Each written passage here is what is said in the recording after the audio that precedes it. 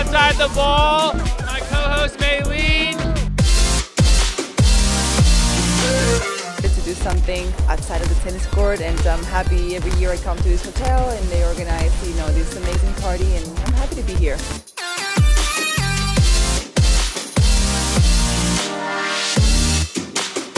every year when I'm staying in JW in Marriott Marquis and it's a pleasure always to be here. So I'm enjoying every moment.